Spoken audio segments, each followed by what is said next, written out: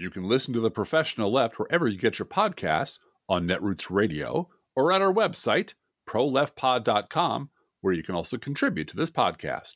There's a PayPal button at our website, or you can mail us a letter and or contribution at P.O. Box 9133, Springfield, Illinois 62791. This is the podcast for Thanksgiving weekend 2021. It's not safe for work. Recorded live from the Cornfield Resistance, where we are so grateful for our listeners, it's ridiculous. It's the professional left with Drift Glass and Blue Gal.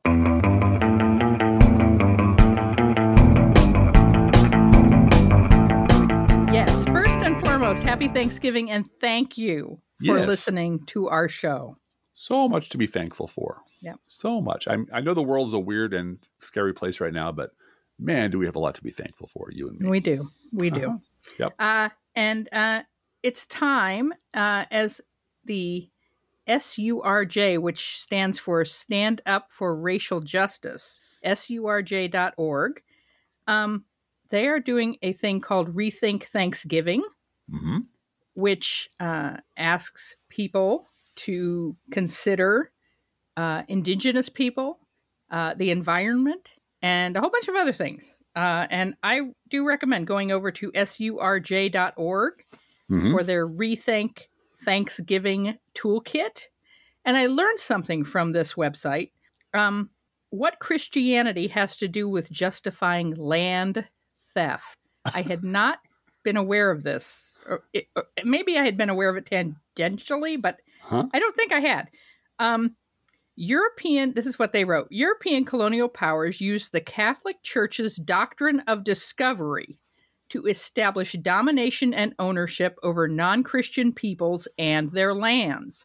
The first document establishing the doctrine, which was written by the Pope in 1095 AD, declared any land in which Christians do not live was empty and open to conquest. It's important to address settler colonialism, anti black racism, and other forms of oppression simultaneously. Get involved in work that helps to build bridges and support the leadership of Indigenous peoples and people of color. Mhm. Show up fully, listen deeply, and base this work in long term relationships. And so I had never really been aware in church history of that papal edict that if there weren't Christians there, then the land was empty. Yeah. Well, um, I but suppose you they know, didn't call it. popes, popes have in throughout history, many many different popes have been uh, very um, willing to uh, adopt edicts that dehumanize sets of people. Yeah. Yeah. Um, from a group that were called the Pope's Jews. Yeah. Remember, Yeah. they were kept in a caged off area in the Vatican. hmm Um, it was not called the Holy Roman Confederation of Equal States, and uh, where we recognize everyone. Yeah. Everyone's Yeah. like, it was the Holy Roman Empire, Yeah. and Yeah. it was an empire for a very good reason. Is that they and you know the Crusades were not about you know negotiating on equal terms with people Right. who with whom you have differences. It was about Mhm. conquering land and taking it for in the name of the church, and you know Well, I want to congratulate Stand Up for Racial Justice.org, S U R J. Um, they also on Monday night had a Zoom meetup to discuss this, and uh, they pre- pretty much broke Zoom. Apparently, there were over a thousand people signed up to be a part of this Zoom call, and so they Wow. couldn't handle it, and you know a lot of people couldn't get on, and so uh, I think there's more to do. I think there's a a real willingness. I don't know if you've noticed on social media this week, Drift Glass, but I have noticed pictures and pictures and pictures of uh, classrooms of elementary school students uh, making pictures of what they were grateful for, and Uh-huh. you know, doing the whole uh, Thanksgiving lesson, and the absence of Native American costumes, the absence of Indigenous people, not not from the lesson, but from portraying them in a you know token way. right. Uh, Right. There's there's definitely more sensitivity to that. I I credit uh, you know the Cleveland baseball team for that.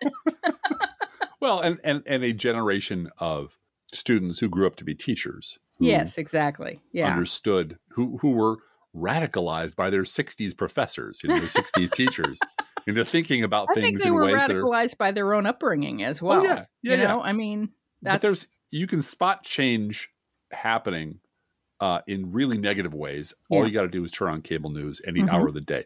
But you can also spot change happening happening in a really positive way Mhm. if you just pay attention to some of the trends that are going on. you mean like is, I- critical race theory is yeah, what you well, exa- I was going to say.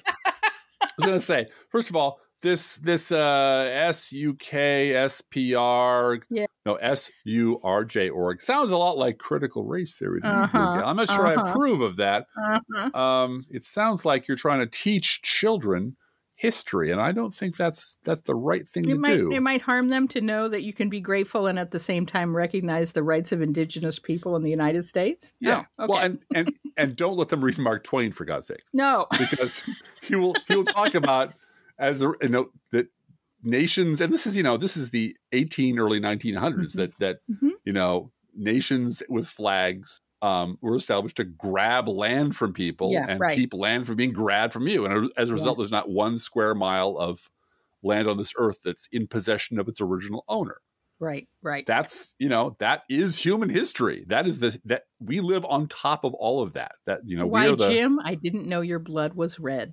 yeah You know, I mean that it, it- I'll go to hell, and then he Yeah. says I'll go to hell. Yeah. It's so it's so remarkable. Um, Drift Glass, this is our letter show, but It is. Uh, but last week we recorded before the Kyle Rittenhouse verdict uh, was presented, the travesty of justice. And I got to say, Saturday Night Live had it exactly right. Um, black people were not surprised. Of all Mhm. the people who ran through the streets shocked and appalled, we are all appalled, but uh, I can't imagine black folk were, were uh, terribly surprised that the jury let this young white murderer off the hook especially when the judge basically got down in the jury box with them and told them what to do. Mhm. Uh, it was so clear that that's where this was headed. Now, the other side of that, uh, on the other side, end of the spectrum, is there is a guilty verdict in the Arbery trial today.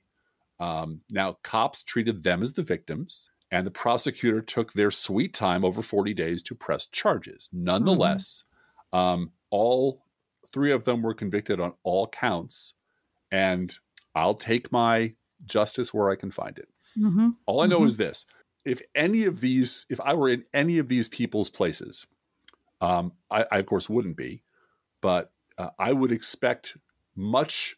If I were white in these places, I would expect one system of justice to kick in. If I were not white and in these same positions, I would expect an entirely different system of justice to kick in. This this really did show that our justice system is screwed up. It's very very broken. Um, you can get an accurate and honorable verdict on one day, and you can get a totally fucked verdict on another day. And it's it's ridiculous that it's like there is no system. It really is just yeah. If you're lucky, and this happens to happen, and that happens to happen. Um, if you live in a state where you've been in prison for 40 years, and turns out you didn't do it, and you get a prosecutor who feels guilty about it, uh, that prosecutor can turn around and fight her own governor Mhm. Mhm. um, and exonerate you and get Right. you out of prison. Mhm. But unless the cards break in exactly that way under exactly those circumstances, that Republican governor was perfectly content to keep that man in prison for the rest of his life. because he would lose the primary if he didn't. That's right. Because its Republican voters want white supremacy. This is what's going on. Mhm. Yeah. So that I, I have, we have much to be grateful for, and we have much to be just appalled at. And I think we can all agree those two things can exist in the same country at the same time, and always have, and probably always will. Drift Glass, I want to ask you a question about this because all of this, all this criminal justice stuff that's gone on this week, Mhm. uh, has had to do with race, and so often it has to do with race. Yes, and it does. I, you lived in Chicago, I did. and you know, I have, I have lived a very sheltered life when it comes to uh, race. Mhm. I just have. Um, I have had black roommates in college. I've had, which was in itself a segregation. I have to Mhm. say because all of my roommates and I were not Jewish. and so and I don't know, you know, how intentional it was to put the non-Jewish people together in hmm housing situations, but Yeah. um, you know, part of that is there were so many uh, students at Brandeis from the same geographic area that often they would uh, pre-select their roommates before they even got to campus because they went Mhm. to high school with many of their many people went to high school with their roommate. Um, but you know, I wound up with African American and mixed race roommates. Uh, but since that time, since college, I've had very few uh, interactions with Black people. hmm And uh, now that I'm reading more and more because it's out there and it's available, more and more about how to be an anti-racist and and the work that we have to do, and just being willing to uh, read about anti-racism and and open your thought to that um, not enough. I don't. I just don't see it as enough. And I read an article this week about how white niceness hmm you know that there the temptation for white liberals is to be nice Mhm. to a black person in public you know and Uh-huh. smile and be nice Yeah. and this black person that wrote this article is like i can smell that fakeness a mile away and i would rather that people be rude or be not smiling Yeah. because then i can deal with you as a person to person interaction rather Well- than oh you're being nice and, in a fake way and your your later life interaction involved um, small hordes of giggly girls Oh, running well, up to yeah. the second floor and running back and stopping to say "mom" or Yeah, "hello," right. youngest child's mom. well And that and that that is that is the step that i've taken Mhm. that a lot of people frankly in our community have not taken which Mhm. is uh, a lot of people in our community send their kids to uh, at, to catholic school as uh-huh, a white flight technique and you know i no, not only could i not afford to do that but i chose not to do that. I even if i could have afforded it i wouldn't have done it because i believe in public education. I believe in being an involved parent. I know the advantage my children have already of Mhm. having an involved educated parent and what i can contribute to my community by being involved in my child's school. So that exposed all of my children to a majority non-white community. Yeah.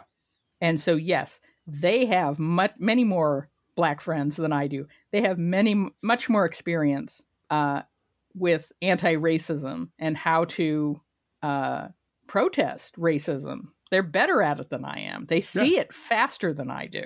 mhm, They see their own privilege faster than I do mhm. um, we bust our children across town to the black neighborhoods. I mean, when you think about middle child at the gifted magnet school and the number of times her school was in lockdown because of the impoverished neighborhood that that school was planted in, Yep. Yep. uh, you know, there were days that it was a little bit scary, hmm but at the same time, there was a commitment on the part of the community and the school system to have that school in that neighborhood. Well, and so, I, tell me, tell me what your response to all this is. well, my my experience is different, as you Mhm. know. Um, you know, part of my life was spent. A short part of my life was spent in the Philippines, where everybody looked different than me, Mm-hmm. um, including my classmates, mm-hmm. and there were different. But it was it was a class system. Mm-hmm. Um, you know, there were there were I went to school with ambassadors' children and presidents' children and diplomats' children. Um, and um, the kids I played with on my block were wealthy enough to live in the neighborhood and were all kinds of Chinese millionaires lived there and and all kinds of people. And I just it just getting picked up and moved around every couple of years was just something we did. Mm-hmm. So we we we started off in my memory started off in a very very small town in Iowa. We landed in the middle of Southeast Asia during the middle of the Vietnamese War, Mhm. and then we ended up in a in a in a white flight suburb of Chicago. Uh, and our next door neighbors were one of the few black families anywhere. Mhm. And Mhm. dad was a civil rights leader. Uh, and they were exactly parallel to us in opposite numbers. Their, our fathers were very similar. Our mothers were both teachers. They had three kids. We had three kids. Um, uh, boy, girl, girl on their side, girl, boy, boy on our side, separated by the same number of years. It Mhm. was, it was, and we and got married the girl next door. I did. I did. My ex uh, is African American, uh, a perfectly lovely person with whom I cannot be married for, for completely different reasons, um, and who went into poverty law, went into social justice law, poverty law, um, food issues, hunger issues, Uh, her dad used to joke that you know she chose she she will choose whatever field of law pays the least. Um, and, and so my experience was was unusual. I mean that I I went to at least a couple of um, um, Black Panther pancake breakfasts in Chicago, Mhm. uh, which were great. When I was a kid, I just knew there were free pancakes. and A bunch of kids my age, and we had a we had a blast. I was thrilled when students from the black school were bussed into my school because uh, the bullies thought they could do to them what they were doing to me, and it turned out no, they couldn't. Mm-hmm. And they got, um, Mhm. the bullies who were bullying me got their asses kicked, and I was Mhm. thrilled. Like this is excellent. I love this. I love this because now the pressure's off me. Yeah. Um, so my experience is very different. I, uh, you know, we I've been poor in my life, but I've never been a victim of generational poverty. right. Right. Um, I have been privileged in my life, but my privilege has not saved me from getting one career after another shot out from underneath under me Yeah. for reasons that had nothing to do with me. Mhm. Um, so it's kind of unfair of me to weigh in on the issue other than to say I try to be a good ally. Mhm. I try to see where my help can actually help. Mhm. Um, and you know, it, it it always cracks me up when I'm when I'm get roped into a volunteer situation or I volunteer voluntarily uh, because everybody knows my number in this town and they know if you need Yes. you know they, if you need me to do something I'll, I'll nine times out of ten I'll show up. Um, to watch a group of white liberals who Mhm. have no experience or good-hearted, but they're and they're trying real hard. Um, just sort of break their neck trying to run a situation that they should never run. Mhm. That they should shut up and listen. And it- it's always the same learning curve. You know, Mhm. there was a Yeah. there was a, a high school in Chicago uh, that I had a very very small part in setting up. That was in set up in a in a very tough neighborhood. And the first iteration of the of the attempted charter of that school failed, and it failed spectacularly. And it failed because the people who actually did the chartering didn't go into the neighborhood and and um, sit down with the parents and grandparents who'd been there back when there were good jobs in the manufacturing industry in that neighborhood. They didn't sit down with the pastors. They didn't sit down with the, with the community leaders and the informal community leaders. They didn't get the buy-in from those people. Uh, there was a tight timeline involved, but it certainly felt the first time out of the box. It certainly felt like we're coming into this this poor, benighted neighborhood, and we're going to save you. Mhm. And man, is that the wrong way to do everything all the time. Mhm. The second time, that group went in with a lot of humility and said, look, we want to create a high school where your kids can can get a middle class um, life. Maybe they want to go to college. Maybe they want to go uh, directly into uh, working in a manufacturing plant. Most manufacturing plants look are gorgeous and clean, and we're not going to shunt them there because they're minority students. Uh, maybe they want to become entrepreneurs and start their own business. We want to build an institution in your neighborhood that will help them do that. Please help us do that. And grandparents who'd had good jobs there, you know, back in the 50s and 60s, back when there were there were good jobs there, um, those are the people that they talked to. And that was a it was respectful, it was humble, it Mhm. was collaborative, it was letting people who know what they're doing, who know the neighborhood take the lead. And then you can be a good ally Mhm. and then you can get the outcome you want, which is a good school giving uh, kids who desperately need a good education and a good future on a very small scale. My my regret was this thing was supposed to be scaled up to five schools and then more, and that never happened. Yeah. And that Yeah. never happened because I was laid off from this. Well, 2008 happened. The crash happened, and that yeah, was the- it. Yeah. the bottom fell out of it. But um, a whole lot of things had to go right, and there was enough flexibility built into the um, universe that there was enough forgiveness that this group could fail and get back up again and tr- and learn and try again and get it right the second time. So I got a lot of pushback on Twitter when I said this a few months ago, maybe even more than a few months ago, about the Democratic Party having more black people on their tickets, um, This is- regardless of what the- the rate, what it is, what Uh-huh. what the what the race is, the political race is, regardless of what the office you're running for is. Mhm. We need to run more people of color yes, everywhere. yes, 'Because I, you said before that Hillary Clinton would have won. That was her. I think her biggest mistake was choosing a white guy as a running mate. I yeah. just do. Yeah. And one of the reasons I'm not. This is not tokenism, This is understanding that representation matters. Mhm. It really matters right and now. understanding who your party is. who your party is. hmm And when when Joe Biden chose Kamala Harris, you and I danced in the kitchen. We did. And for me, it wasn't just Kamala's going to be a great running mate. It was Joe Biden wants to win. Yes, exactly, exactly. And and see, here's here's the thing, and I don't mean to interrupt, um, but I'm going to interrupt just for a 2nd Mhm. And this is, I promise not to branch off into a long rant about never Trumpers and whatnot. I promise, I promise. But but the the the the alibi that you hear that I heard today today from Tom Nichols and Mhm. and other never Trumpers, you hear it right across the board is in one way or another they swear they never understood their own party. Mhm. They never understood. They they they dealt only with the elite top of the party. They did, uh, I was listening to a podcast um, called uh, "Know Your Enemy," and there, there's a, a long uh, disquisition on Bill Buckley in one episode, and how, how Bill Buckley tossed the the Birchers out of the party, and they said, "No, no, no, he didn't do that. He got rid of. He didn't want Birchers in leadership. He was very clear about that. He didn't want them in leadership because the party came back and said these guys are our are our stalwarts, man. They're the ones who knock doors and phone bank and lick envelopes, and they get the vote out and they drive people from you know Skid Row and the old folks' home. We can't win without these people. And Buckley was like, no, no, I just don't want them in leadership. Of course, it's okay if they're Nazis in our ranks. yeah, he doesn't want them at his cocktail party. Right. I don't want them at my cocktail. I don't want them as the face of the party, but they do all the heavy lifting. And this Yeah. was in the 60s, man. This is, you know, this is a long, long time ago. And jump forward, you know, more than half a century, and you get all of these fucking never Trumpers swearing that they had no idea that Mhm, any of this was happening inside their party, what it clearly was. And it mhm. was, and if you take them at their word, and I don't necessarily do that, they fundamentally did not understand their own political party. Mhm. And when Trump came along and basically told the, the meatheads and the racists and the gun nuts and the et ceteras that they were great people and God loved them and he loved them and they should be proud of their racism, Mhm. all the political class of that party were horrified. yeah, But that's what the base was waiting to hear. Someone Right. saying, Oh, you see who I really am and you accept me and you think I'm wonderful.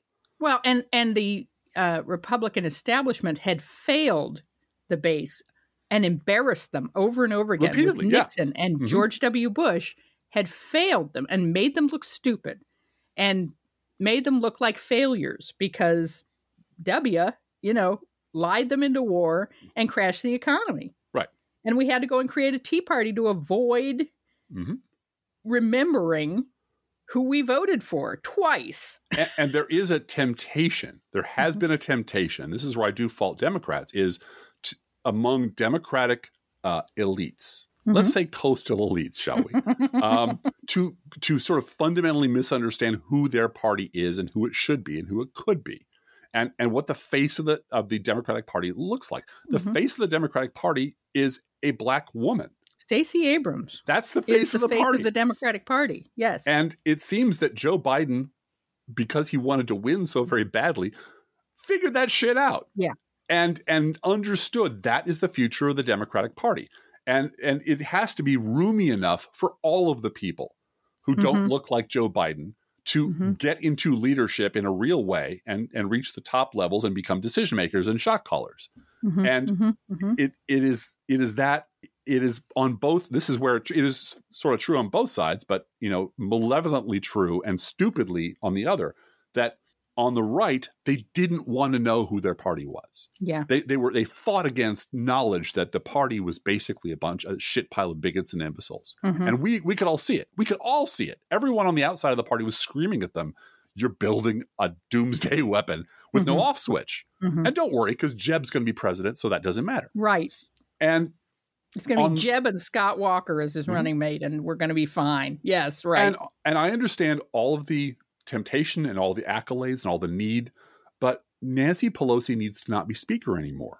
hmm She's really good at being a speaker, but Awesome. she But there needs to Time. yeah. it's her time to retire Yeah. and enjoy her golden years. Uh-huh. It, it is time. I I understand why Joe Biden was was nominated and elected. I do. I do. I voted for him. I knocked doors for him. But there needs to be a clear understanding on the part of party shot callers that Joe Biden is indeed a transitional figure. Mm-hmm, And he, if we're- we're lucky, will get us through long enough for the next generation to take over who will look nothing like you or me. right. They will speak the same language. They will have fundamentally the same values, I hope, but they will not look like you and me. And they might say some things that freak you and me out a little bit. And that's okay. That's fine. Um, Well, and and the other thing that I think Joe Biden did that showed that he wanted to win was to bypass Iowa and New Hampshire Yeah. and go straight to South Carolina, and Yeah. that showed as well that he knows who the Democratic base is. exactly. Exactly. Um, and, And it's the primary process is another thing that in the end has to go when you're starting with two small white rural states. Yeah. To weed out, to filter. That's the first filter for your party? Really? No.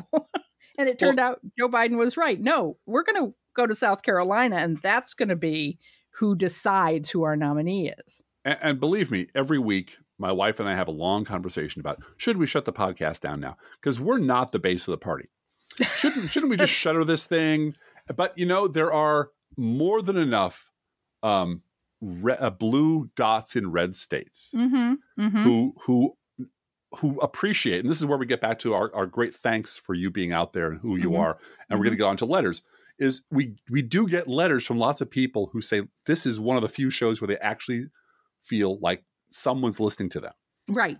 And and we sound like them and we, we Mhm. talk like they do and we understand what they're going through. And we and we're not on the coast. There's nothing wrong with the coast. The coasts are beautiful, but we are a Midwest podcast run In the by middle of a cornfield. the middle of a fucking cornfield is where we live. Yep. And we're a couple of middle aged white people who live in a cornfield and who've been listening to the Republican Party Mhm. vomiting its crazy out in right where we live for 30 years. And we can Mhm. tell you what they think and what they're doing and why they're doing it and how we got here, which is a subject which is weird to us that nobody really wants to discuss. They want Yeah. to discuss 2016 and beyond, but they don't want to talk about what the fuck happened to get us here in the first place. And we Yeah. think actually understanding how we got to where we are is really important. Mm-hmm. And that understanding what is going on in our community, what's going on at the grassroots level, which is why Junior Dude's coming on next week to talk about redistricting.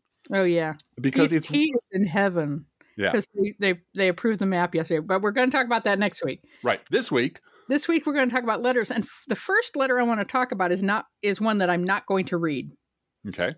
because uh, they revealed a lot of personal information Ah, in yes, their letter, yes. and I didn't want to share that. I just Mhm. felt uncomfortable sharing it, and but I did want to bring it up because Mhm. we have had complaints in the past about uh, making jokes about pharmaceutical ads Uh huh.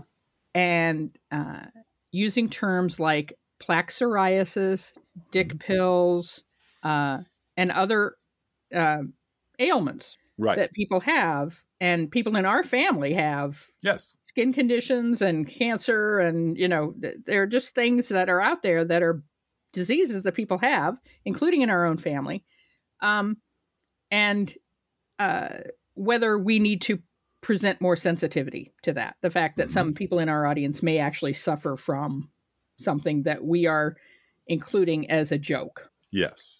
And in addition to that, the the jokes that you, particularly Drift Glass, and sometimes I do, make about double wide trailers and Yes. sister fuck Arkansas and so Yes. forth. I'm And not.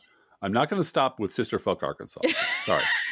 Um, well, and and my uncle Omar, my great uncle, lived in a trailer and owned the land under it, Uh-huh. and uh, it was in uh, southern Ohio, and he was a hillbilly. And you come from hillbillies, Drift Oh, Glass. well, before Um, we move to the itty bitty abandoned, now abandoned town of Grandview, Iowa, hmm uh, I spent the first three years in a trailer, Yeah. in a in a Yeah. ci- in a in a haul around trailer. This wasn't a big trailer. You know, I slept in a, on a shelf. Apparently, I don't remember it. I was like, you know, eight months old, hmm but I slept on a little shelf above my sister's bed, and you know, it was. So we understand trailer life. We understand that there are people who have 1.2 million dollar land yachts Yeah. and they spend their time cruising the country and doing all the things that Albert Brooks did in Lost in America. And these are that is a is, is a specific shortcut to to a demographic that we have a real serious problem with. And I'm very sorry if it offended you. Now, the other one, uh, I noticed nobody's complaining about um, us bagging on reverse mortgages. So I guess nobody loves Tom Selleck anymore. No one loves so, Tom Selleck anymore. No. um, we are not um, trying to make fun of anyone who has an affliction right. at all. We Right. are making specific sport of people of cable news networks that Mm-hmm. are built around selling shit to people. All Right. kinds of stuff, stuff you need, stuff you don't, stuff I wouldn't touch with a barge pole, stuff that sa- will save your life. Mhm. But their interest is not in presenting you news. Their Mhm. interest is, their interest is in gathering enough eyeballs to make it worth their sponsor to pay them to put their product on the air. Mhm. So the um, commemorative 2020 chess set doesn't roll off the tongue like dick pills do. Right. So Well, and and we're following the rules of comedy there with sounds that are yes, ooh and cuh, and that's Yeah. why the F word is funny and intercourse is not. that's right. It's because it's got the K, the CK sound. Mhm, Plaque psoriasis is funny because it's got the K sound. mhm. Their their um, buckaroo is a funny word. It's a funny word. It's got K and ooh, Mhm. and those are funny sounds. And giving- there's giving rules about that in comedy that you learn. You're giving away all our secrets here, Blue Gal. I know. all of our secrets. um, so I I intend, and I'm sorry if this bothers you, I intend to continue making fun of the fact that cable news is a commercial enterprise Mhm. designed to tell products, and news is entirely secondary to their goals, which is why Well, and they're and never going to get any better. and particularly when it comes to healthcare policy and their coverage of healthcare policy, they have a huge conflict of interest Yes, they do. that needs to be exposed regularly because Yes. they depend heavily on pharmaceutical advertising. God bless Rachel Maddow for all the good she does, but her Mm-hmm. show and her salary are paid for with pharmaceutical ads, and that means MSNBC is in a huge conflict of interest covering Medicare for all and uh, restrictions on pharmaceutical ads. And when you and you turn on television and you see an ad for Carol, who I have many life-threatening diseases, and this government setting of prices is going to rob me and you of all the life-saving drugs that we have. Don't let the government set prices. Yeah. You see that ad on MSNBC, you realize, oh, this is this is this is not a liberal network. They will sell is a- this ad space to anybody. Yeah. Yes, yes, and yes. and we notice that and we notice that values are downstream from commerce they're not Mhm. downstream from your Mhm. ideology which is why it is so hard to get anyone on television to say anything bad about television Mhm. because they don't Mhm. want to talk about why they booked three republican guests to one on meet the press and Right. why never trumpers are all over television and you can't find a liberal if you you know with a barge pole he said Yeah, repeating himself yeah. um, but anyway, let, let's move on to a letter that Paul wrote us, and I think All right. want Uh, this one's highlighted in pink, so I get to read it. Okay, Pink and blue. Our notes are in pink and blue this week. Patriarchy strikes again. Yeah. Paul writes, listening to your latest show right now at work through earphones, of course. A little confused by the new timing, Friday morning instead of Friday night, but I think I'll get over that. And here we are recording on Wednesday. So, Yes, um, as you as I may have said before, we are now record regularly recording our show on Thursday night and posting it Thursday night uh, as an accommodation to our angel nerd Tammy, who wants to Mhm. get the po- podcast up on YouTube uh, in coordination with her work hours. So Yes, yes. that's that's all which it is. she does on a volunteer basis, for which we are tremendously thankful for Yep, all the we are all the very stuff she does for, for us. Uh huh. Uh, so, my pedantic complaint, says Paul. On the one hand, you're the professional left and it's our job. On the other hand, it's a labor of love, which ordinarily means that you do it without expecting any remuneration. Think of the root of the word amateur. So, when you say it's our job, I always think, Am I donating enough? No, you are not, Paul.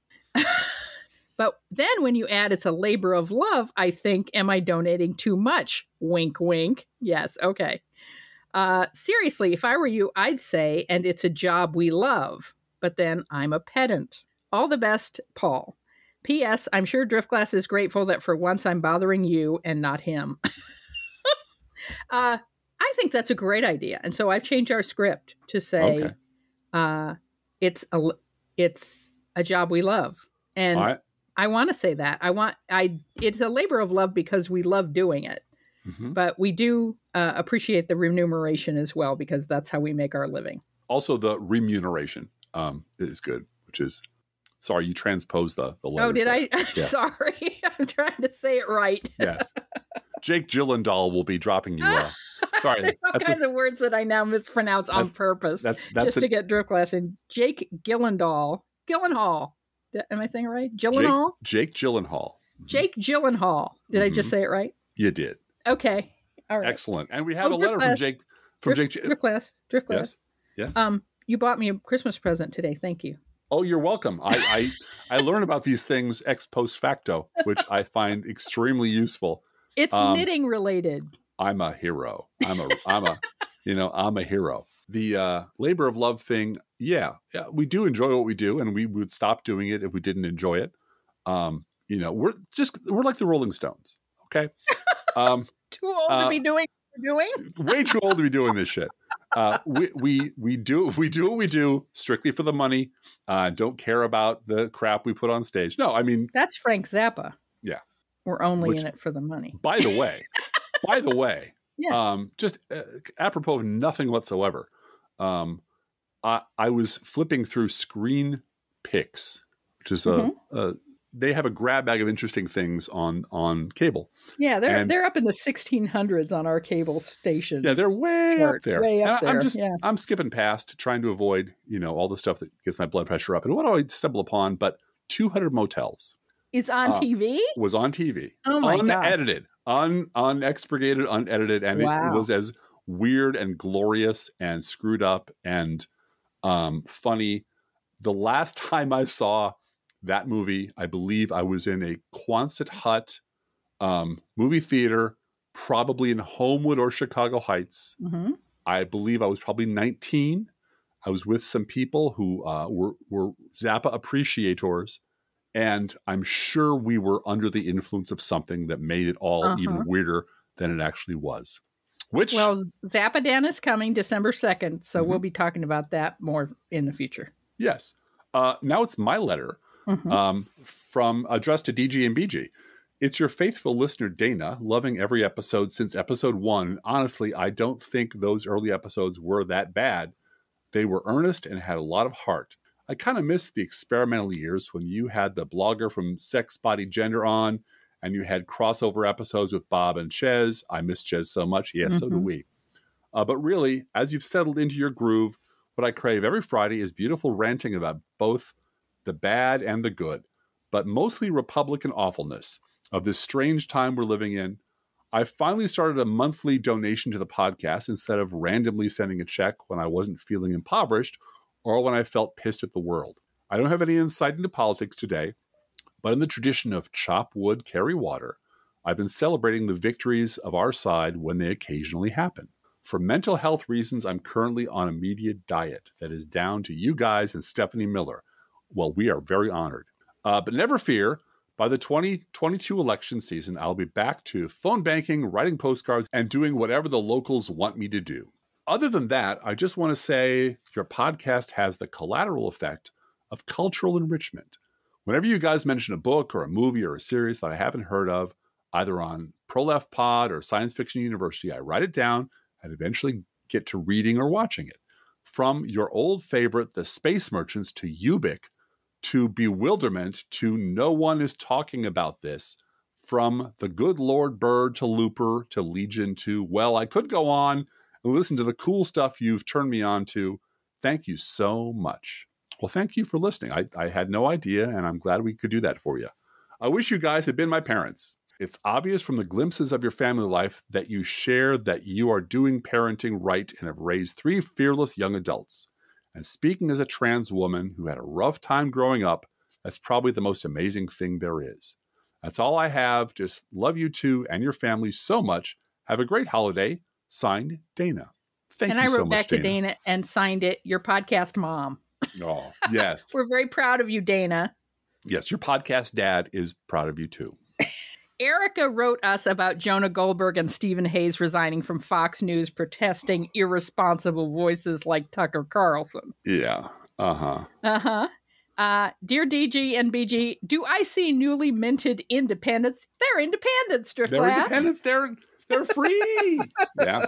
Yep. Do I see newly minted independents thrashing this way? Can't wait to hear how we need to let them take the wheel because mm-hmm. they're the true experts, having worked for the beast this entire time. Mm-hmm. I roll. Oh, and our newfound ally, Liz Cheney. You know, she's a mother and a patriot, by the way. I hear. I yes. hear she's both those things, which yes. is great. Just great uh, for her. And here she is praising Goldberg and Hayes for mm-hmm. their, you know, bravery and courage. As Erica writes, these people truly are the worst. Yes. Thank you, Erica. And as I've said uh, when I first read this story, it is great news for their Substack. Yeah. This the income from the Goldberg Hayes Substack, which is littered with people from uh, the old web the old website that's no longer in existence. Weekly Standard. Yeah. Weekly Standard. It's all yep. Weekly Standard alums. Mm-hmm. Uh, the income from that Substack is reported to be $1.9 million a year. Yep. For which I'm sure they're very thankful. Um, we they, do not make 1.9 million no. of anything. No. No. on this Down, podcast. 1.9 million downloads would be cool, but um, yeah, I think we have that. I th- I oh, do think I, over the course of 10 years we've had that many downloads. I, but I'm sure we have. Not that many dollars. Not no. in 10 years. No. well, and I, I, as your roving reporter from Never Trump Land, I will say that yes, the th- the predictions that we made on a Monday came true on a Tuesday, which was uh, yes, uh, when Bill Kristol of the Weekly Standard and Charlie Sykes, uh, who are the co founders of the Bulwark podcast and the Bulwark web system, um, uh, were chatting a couple of days ago. They, they were just gushing with delight that Jonah Goldberg and Stephen Hayes had quit Fox News and stormed off, and they were more than welcome uh, over here at the Bulwark podcast. Um, they were just delighted. Uh, they, they made a whole big thing of bullshitting about the difference between a Fox News contributor and a Fox News board member. And Charlie Sykes went out of his way to say, look, I'm on MSNBC all the time, but I don't agree with everything they say on MSNBC. Well, A, because you're an asshole, and B, because um, MSNBC is not a right wing hell site that spews crazy propaganda all day long. But, and I'm going to write about this in, in greater detail, ju- and, and this is exactly what I knew was going to happen because these are all circle jerk friends from the right. old days. Right. So they're all pals, and they're like, "Oh, oh, you come on over. It, it, don't worry, liberals are asleep. We'll just sneak you in the back way, and you'll have your own show on MSNBC in no time." Mm-hmm. Meanwhile, just like a week before, these same people were bitching that Chris Christie can't be trusted because he was with Trump the whole time, and he didn't quit, and he didn't walk off, and he didn't stand up until he had a fucking book to sell. Yeah, that's true, and and Stephen Hayes and Jonah Goldberg didn't walk off Fox News after the January 6th insurrection. They didn't hmm. touch it. They, yeah. they, didn't touch any of the shit. It was finally, it was a bridge too far when Tucker Carlson made his documentary. His Leni Riefenstahl documentary yeah. about Donald Trump. Purge, about, about Weimar Muskog as a beer hall putsch was an excellent idea. that was too much for, for Mr. Yeah. Hayes and Mr. Goldberg. Yeah. Uh, and that's when they found what tiny shred of conscience they still had left and stormed off to make $2 million on Substack. Yeah, no, and and this is promotion for their Substack. Yeah. That's that's been around since last summer, like summer of 2020. So So so let's let's all guess when they will be guests on Meet the Press. Um, how soon they will have their own little niche this weekend. on Bulwark. I would oh, yeah. if if they want to work Thanksgiving weekend, I would bet they'd do it. Yeah. Sunday, you know. Now remember Jonah Goldberg's two most um, famous um, incidents. His, he's known on the left for two things, a lot of shit that he did. He's he's known as Joey Pantload because mm-hmm. he's just a big, dumb, pasty asshole conservative who has his own column in the LA Times. Um, he's known for telling the people of of New Orleans after Katrina, who didn't get out in time, to grow gills. Mm-hmm. And he's known for writing a book called Liberal Fascism because mm-hmm. liberals are the real fascists. Mm-hmm. And now he's been driven out of his nest by the actual real fascists who he's been friends with and buddies with and circle jerk friends with all along. So, of course, he's going to be welcome at the Bulwark because that's how they do things over there. Um, but by the way, Driftglass, Danielle Pletka is writing for their Substack. Yeah. Well, of the American Enterprise Institute. seriously, they're they're just replicating the weekly, weekly standard on a different platform. That's that's Yeah. what they're doing. Yeah. Um, and every week they get more and more indignant. Oh, the other thing that they were furious about these these two gentlemen, uh, they were they were thrilled that their two buddies had left. You know, the bad part of town, were moving into the apartment below them. But they were still indignant that the crazy liberal, lefty, liberal progressives are trying to pass this Build Back Better thing, uh, which is full of crazy liberal spending. And it's irresponsible of them to even try to do this, uh, especially since they already got their infrastructure bill. They should just be happy with that and shut up about you know child care and elder care, especially. And I'm almost directly quoting now in these inflationary times, Blue Gal. because it's never a good time. Because deficits, Blue Gal, deficit. Oh, we can't say Yeah. deficits anymore. Oh, oh, uh, inflation. The reason we can't have elder care or negotiated drug prices or or uh, investments in child care. Uh, the clean reason water clean water. people. is uh is oh let me see what the what's the magic word of the week it's inflation we can't have any of that liberals should just drop that shit it's bad it's bad stuff this coming from the guy who wrote the white paper on how to kill hillary care Right. not because it was a bad idea but because people might discover they like having decent health care at affordable prices and they might reward democrats for With giving more- it to them Yeah. More government spending. Yeah. Yeah. all right on Right, the next you have letter a long one to read now, Dirk All right. This is how i know we're doomed Uh, this, This is is from how- our pal Ron, by the This way. This is from our pal Ron. This is how I know we're doomed. Brad Raffensperger has written a book. Yay! His book explains in great detail how the election process in Georgia works, how all applicable protocols were scrupulously followed in 2020, how all allegations of fraud were just right wing network being hysterical, etc. Not one fucking member of the Republican Party believes a single fucking word of this book. Every single member of the Democratic Party believes pretty much all of it. Several Republicans have gone so far as to issue death threats to Mr. Raffensperg and his family. Death threats were deemed credible enough that the state police in Georgia advised Mr. Raffensperg to vacate his house for a little while. Mr. Raffensperger also endured an hour long harangue from the most popular member of his party, whereupon Mr. Raffensperger did bravely and forthrightly reject these entreaties, expose to the world the rot and ruin they portended. Then a reporter asked him about these events. Why not the totality of these infractions? Oh, was not the totality of these infractions enough for you to consider leaving the party? Because it is beyond obvious that the party has no place for you. His response? Oh, no, I could never consider leaving the party. Why? asked the reporter. Well, because I believe in hard work. Jesus. oh, the old hard work canard. This piece of shit is so drowned in the racist shit he swallowed in the fifth fucking grade that he can't even consider throwing his support behind the Democratic Party. Even after his current party threatens the lives of his children and tries to get him to reject democracy, he tries tries to get him to commit crimes that carry penalties of multiple decades in prison, he clings steadfastly to this bullshit argument. Democrats are lazies who just sit around cashing government checks all day, and Republicans are the real Americans who go to work.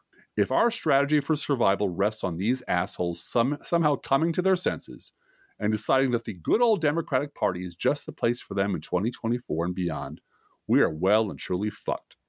This there is not one string to be pulled, not one entreaty met with anything but scorn and ridicule, no avenue to reasoned debate, nothing, no way to reach them. There is nothing but solid concrete, and under the concrete there is lead, and under the lead there's plutonium, which kills you faster than you can dig through it. This is how I know we're doomed. Your pal, Ron.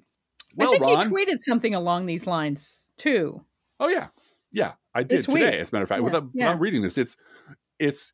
I- I want the word exposed and revealed um, removed from the lexicon of journalists uh, because there's there's nobody left to reveal anything to.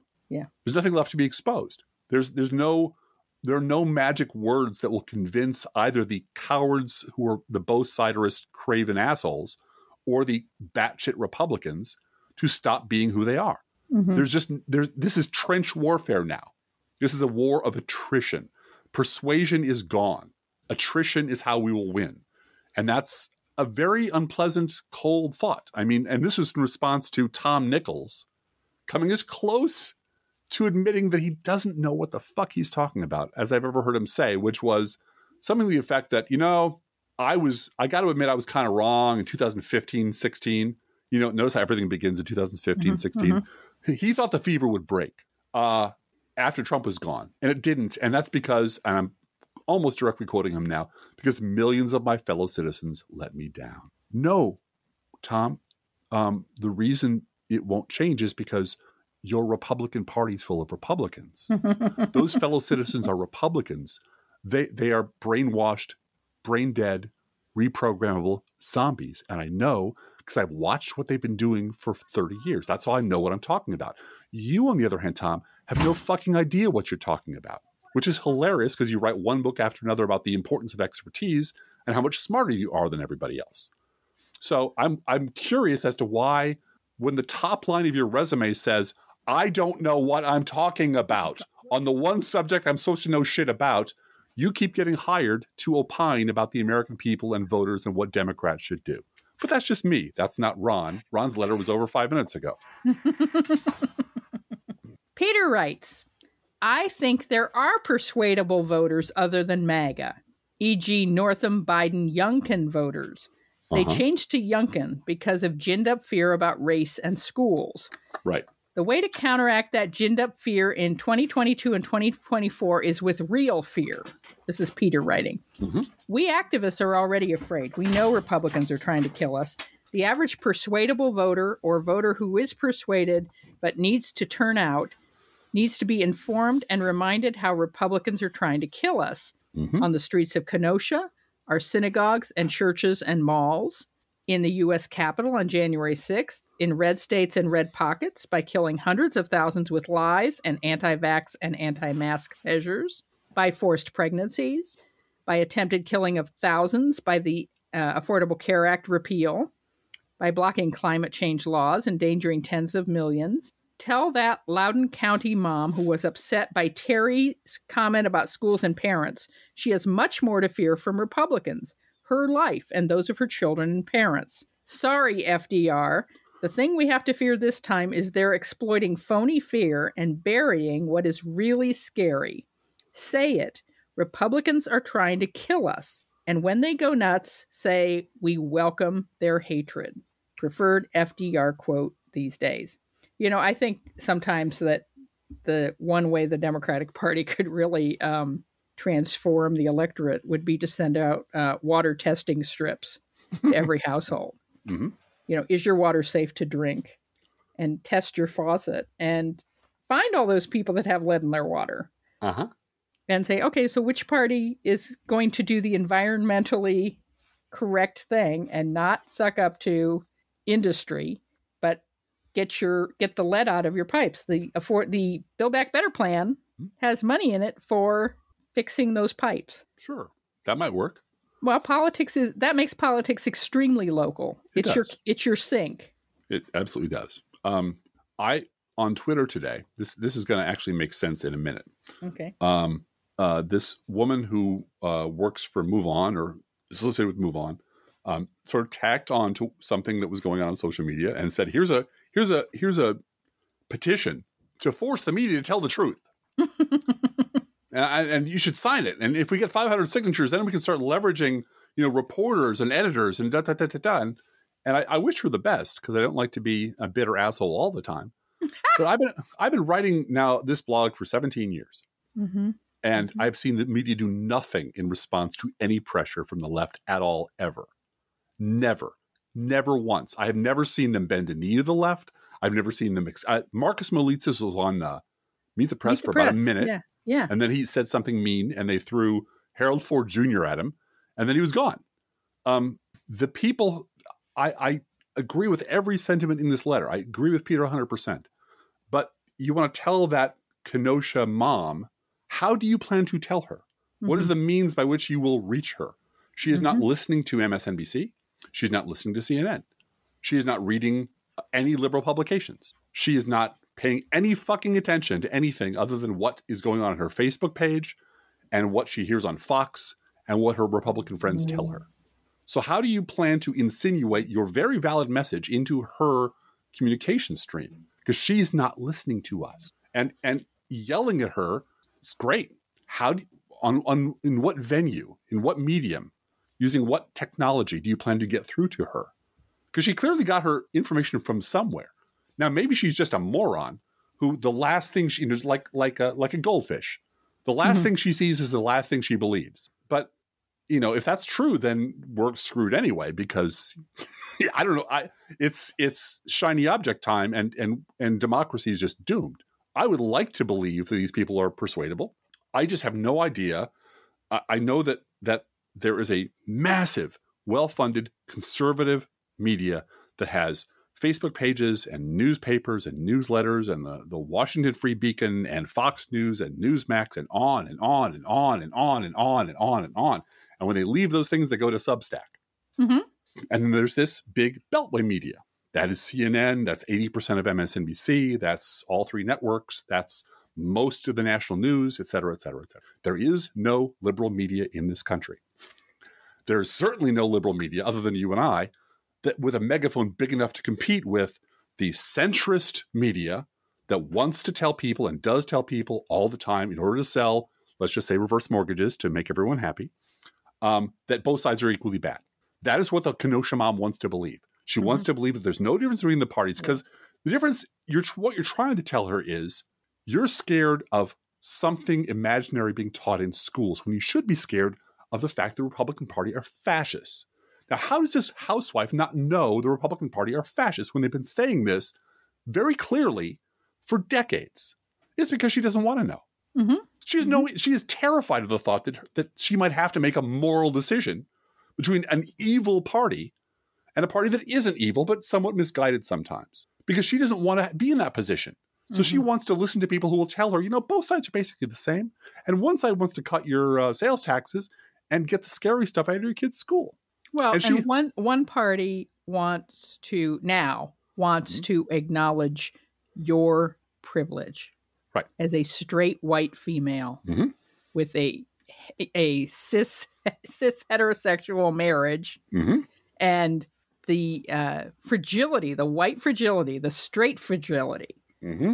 that is out there that doesn't want to hear that your people ever hurt anybody. That's just unacceptable to have a ask a voter to take responsibility for their privilege. No, they don't want to hear it. They don't want to hear it. Back That's when human nature. back when Walter Cronkite was the only voice you heard, Yeah. Yeah. you know, and and Huntley and Brinkley, and I, I'm not pining for the good old days of nothing but you know old white men on television, Right. Right. but you couldn't self-select out of the media ecosystem mm-hmm. and pretend the Vietnam War was going great. Mm-hmm. You know that. Well, you could. You could. You could listen. You could read the John Birch Society newsletter and nothing yes, else. But but most people in your neighborhood weren't doing that. You're right. Right. Most people were watching the nightly news with John Chancellor. Mhm. And when things got really, really fucking bad, they said, you know, things are pretty fucking bad. yeah. Walter um, Cronkite went to Vietnam and said this war's not winnable. Right. And Right. Johnson knew what that meant. Yes, Johnson And knew Johnson what knew that exactly what that meant. There, there is simply no more. Once it became a marketplace, a literal capitalist marketplace fighting for people's attention, meant. Mhm. not fighting to educate them, not fighting to create a well-informed public, not fighting to make the, you know, uh, what is it? Make the uh, the rich uncomfortable, you know, Mhm. and to comfort the afflicted and afflict the comfortable. Right. Right. That isn't journalism at all. That's journalism. There, there are journalists who do that, but that isn't the media at all. The media is about selling you stuff, and they want to gather as many people to the to the to the hearth to hear their story. And people will not gather around a hearth to hear that one of the parties in this country is out to destroy the country. hmm Even though that's true, it's patently true, it's obviously true. There are there's simply not enough people in this country who are willing to hear that story. They don't want to believe it because that means America kind of sucks and is crazy and there's something deeply wrong with it and they might have to do, something about it. Yeah. And they don't want to do something about it. hmm They want the virus gone, they want their gas prices low and they want to blame Joe Biden when when shit that has nothing he has no control over happens to them hmm threatens their life. Their milk goes up 90 cents. They want to blame the guy in the White House. hmm And they don't want to hear that they They have want to be- blame the Democrat in the White House. They would They never blame- think to blame Trump for anything like that. It used to be deficits. Now it's inflation. Well, it's Mhm. always something. And they don't want to take responsibility to be adults in an adult in, in an advanced democracy. Yeah. So Drift uh, Class, I- that's a great dovetail to Steve's letter that you're going to read next. Hey, Steve. Um, on top of the fact that the left media doesn't have the long line of wealthy benefactors, it is much more fragmented than the right. It seems like the majority of left media falls into two categories. The first is regularly focused on how the Democratic Party is disappointing. They'll talk about how bad Republicans are, of course, but only as a lead in to talk about the Democrats. They focus heavily on discussions of how sold out Democrats are. Some go so far as to suggest that Democrats are intentionally throwing the political game. They talk a lot about Manchin, but not much about Jayapal. The second category is so focused on calling out the lunacy on the right that they barely talk about Democrats, I'll just add, at all. They almost do more to promote Republicans given the airtime they spend on it. Finally, there is a smaller third category in left media that understands the larger fight. These outlets speak positively about what the left and Democrats are doing. They focus much more on the value of political organizing and do a lot less complaining. So I'll describe this category as the chop wood, carry water left. Anyhow, thanks for doing your part as shills for the Democratic Party, you sellouts. Thank Sorry. you, Steve. Thank you, Steve. That's sweet, sweet Soros money. I love that Soros money, man. Keeps me in booze and hookers and all sorts of goodness. Yeah, yeah. I, I see. We we do this stuff on a lark. We're sitting on a fucking pile of money from George No. Soros. It's a mountain of money. you know, we we own most of Substack. We get ten percent from from everybody from Glenn Greenwald to Oh, Andrew yeah. Sullivan. Pay Sure. us. No, to- Oh no, no. we're still waiting for our tax refund from 2020, like Yeah. a lot of people. Yes, we are. Um, we got a letter from Dogface Herman, Yes. who Yeah. also sent me a video of one of his sheep that has been an internet kitty, Pancake.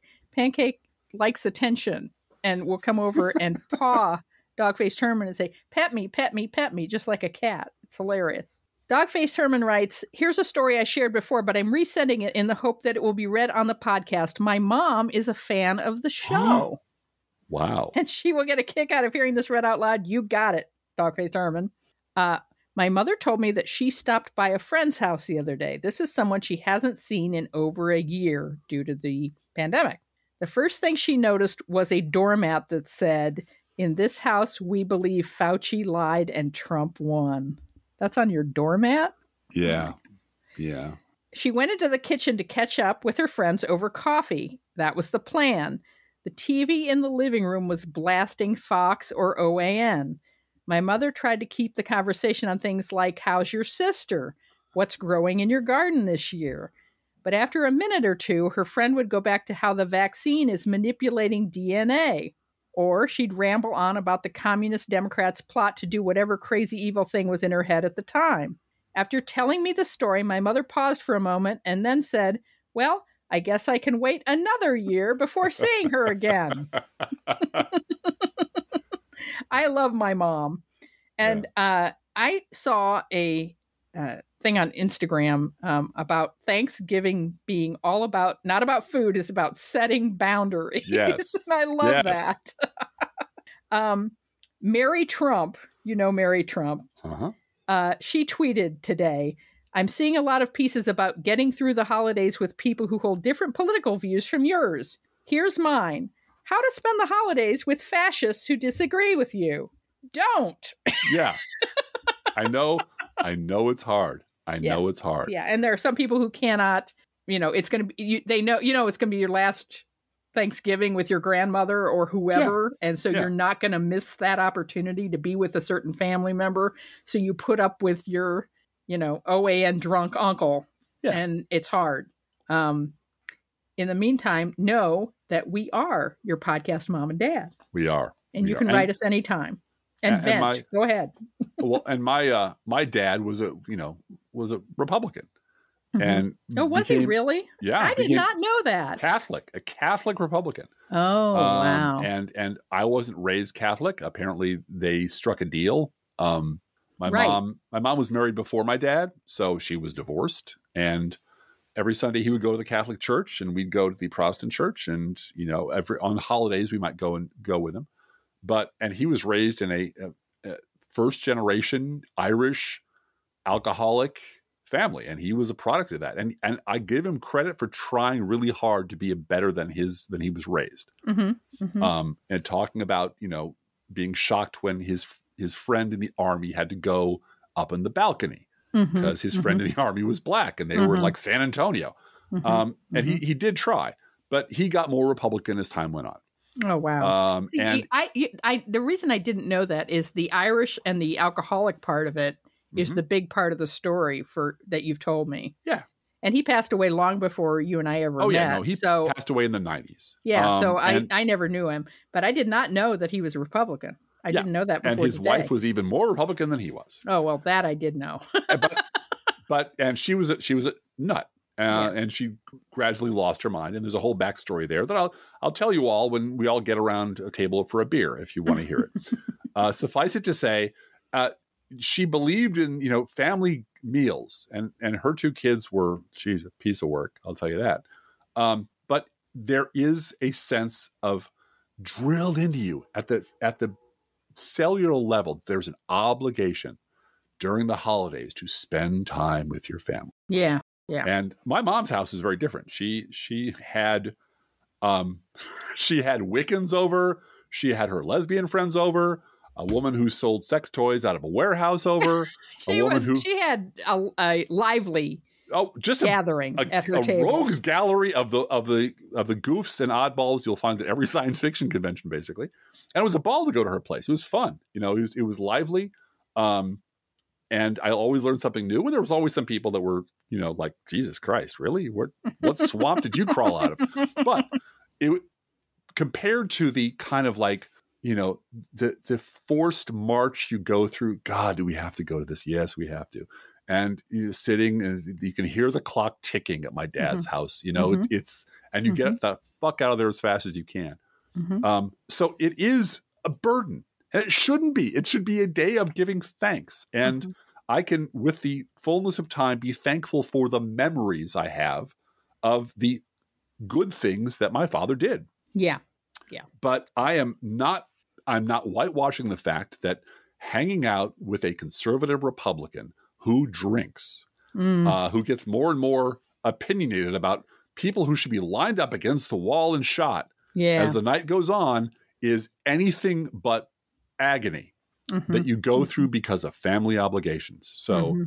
we Mhm. are your podcast mom and dad. mom and dad. And yes, we'll we be are. there for you and and and a cup of cocoa and a big hug and would you like would you like to take a plate home? I mean that's that's what we're going to be and that's one thing I did learn from my my ex's family is if you're not sending everyone home with a plate, you have done Thanksgiving wrong. Right. Yep. Right. Um And what's Now- so funny is youngest child now goes over to all of her friends' house to get a plate. Yeah, exactly. I had no idea. I mean, I- this is how this is how sheltered my early childhood was. I had no idea. You always Yeah. make a ton of stuff, Yeah. and Yeah. and if you if you live at Seventy Fourth and you know Prairie, Yeah. you go down to Lem's and you go get you know macaroni and you go Mhm. get cobbler, and then you make the rest. But um, there's a whole, but the the feeling is the same. hmm The feeling is the same. Having aunts and uncles and cousins and people and uh, blah blah blah, and the young people go down to the basement, and the old folks sit upstairs and smoke cigars and talk about how kids today, and Yeah, the, the people yeah. downstairs talk about how the grown ups don't understand us, is universal. It's just Mhm. universal. So you know, I am I'm grateful for the family I have. I'm grateful for the listeners we have, and I am far more blessed than I had any right to believe I would ever be. So I included one last little letter um, from Doug, and I, I want you to read it. But it Sure. was just such a, a lovely little memory and gratitude note that I thought we should include it. Well, here we go. Um, Doug writes I have, with help of a Zoom effects pedal and a pair of Sennheiser headphones, been playing my Les Paul for the first time in years. 15 days in a row so far. I suck, but less so with each passing day. And really, what more could one ask from this life? A thing to be thankful for. I'll take it. I hope your holiday is wonderful. Isn't that lovely? Back at you, Doug. Playing is Les Paul. Yeah. That's that sweet? fantastic. Pick it up and and put on the music. That's just Mhm. great. Play as if no one in the world as a music critic. thank you all. We love you so much. And thanks Mhm. for listening. And uh, we appreciate you. Each week we post to our Facebook page and website an Internet Kitty sent in by you, the listeners. This week's Internet Kitty is Luigi. Luigi is a consultant kitty who assists his owners with maintaining a work life balance Wow. by stretching out across computer keyboards, which he believes will improve your life by creating opportunities for less work and more petting the kitty. Luigi's a genius. I know. and he doesn't charge by the hour, he just lays on the computer keyboard for as long as it takes. Well, he does issue certain demands. And of course, Luigi eats freshly poured cat food, our fake sponsor. Whether you serve pet store perfection or dollar store dreck, your cats will sit on the kitchen floor or lie across the keyboard and demand that the food they eat is only freshly poured. Freshly poured, freshly poured. Oh my lord, it's freshly poured. And you can visit Luigi at our Facebook page or website, and you can send your internet kitty, dog, or other pet to us at our email address, proleftpodcast at gmail.com, where you can also write to both of us. Feel free to write us. We love hearing from you. Be aware that if you write us at any of our addresses, we reserve the right to read your email or U.S. Postal Service. Go, postal unions. Letter on the air unless you say otherwise. Hashtag fire DeJoy. We understand that we're getting closer to on that goal. We are. So they're, they're listening to us at the federal Yeah. level, Blue Gal. Don't forget our gourmet coffee guideline. If you can afford to buy an espresso based beverage for yourself, buy one for us. This is not charity. This is our job, and it's a job we love doing. Approximately 1% of our listeners support this podcast with a contribution. You can too. See our website, proleftpod.com, for details. We've got PayPal, postal address information, merch, all of it is there at proleftpod.com. We heard from a listener today by uh, USPS mail hmm that um, she is putting has one of our, our bumper stickers on a magnetic bumper sticker carrier that she can put on her leased car and drive it around Ohio. Oh, and uh, we also got a card in the mail, I think today, that was sealed in the back with a Go Postal Unions uh, sticker. Oh, that's wonderful. So people are still downloading those and still printing those, and we we think that's just wonderful. That's awesome. Mhm. Please share our show on social media. And if you love this podcast, please get someone else to listen to. And we thank you for doing that. Hey, Driftglass, how are the Internet Kitties doing this week? Well, Blue Gal, the Internet Kitties wish everyone many reasons for gratitude. Count your blessings, folks. Count your blessings. Let's think about living. Let's think about loving. Let's think about the hooping and the hopping and the bopping and the loving, lovey doving. Let's forget about the wine and the crying, the shooting and the dying, and the fellow with a switchblade knife. Let's think about living. Let's think about life. Professional F podcast is recorded under a Creative Commons license. Copyright 2021 DGBG Productions.